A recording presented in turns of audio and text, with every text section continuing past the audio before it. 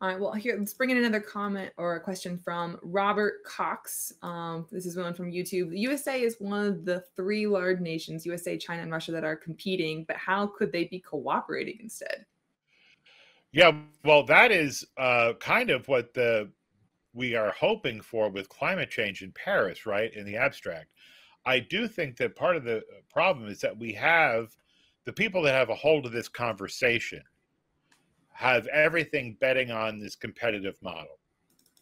And so they the way it works is, you know, for the purpose of capital formation, nations don't matter. But for the purpose of manipulating the system, they use national identity as a way to marginalize the interests that they're trying to subdue.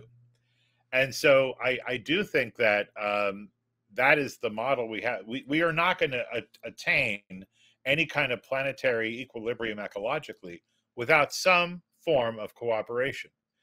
And so I guess we have to kind of, that's why I, I have been so impressed by the direct diplomacy that you see like Medea Benjamin do in Project Pink, going to areas of conflict, peeking behind the cur- uh, curtain, and then engaging people in Cuba, people in Palestine directly. That kind of short circuits this conversation that's controlled by the forces of polarity that benefit by this kabuki of competition.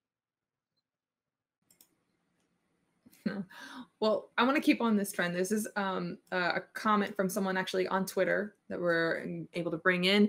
Eric on Twitter says socialism is trending on Twitter right now. How do we use this moment to get unstuck from American capitalism and get people on Twitter on the streets? well, I think it's to I think it's to reflect back on the things that have that have advanced America historically, which have been collective action. Uh, mm-hmm. one of the problems is our history is framed uh, around great white men. And so the idea is that individuals, uh, and that's what you're brought up with in a conventional upbringing in school, that individuals make a difference. So we don't really have uh, a really good labor history piece. That's one of the important things that I do that Stuck Nation tells. There's a hey, I plugged the book. We're we're we're uh, all 45 minutes in. And I'm plugging the book, but one of the things in the book is it tracks what I'm familiar with, which is Lower Manhattan and the history of how um, female garment workers, uh, primarily uh, um, undocumented or new, certainly new arrivals, primarily women in their early 20s, had a general strike in 1909 and were really redefining the nature of the garment industry in lower Manhattan. Uh, it was out of that that the Triangle Fire happened because the owners were uh, were the most resistant to unionization, and they had locked the doors and made it so that they controlled uh, people coming in and out because they were trying to throttle this organizing effort that was really winning. I mean, imagine that 20,000 undocumented immigrants today in any city coming together and organizing collectively. And what was amazing was that they were supported by the wealthy women of the period from society who were themselves pushing for the vote.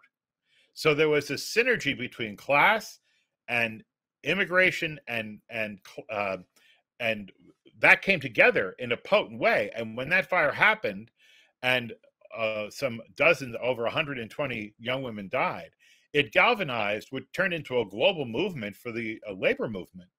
And that success has been replicated around the world. Now, what happened was in the 1980s with Ronald Reagan, when he fired all the air traffic controllers, and years and years of capital beating up on the labor movement, and the labor movement itself getting co opted through organized crime, self dealing, some of which goes on today, got to be honest.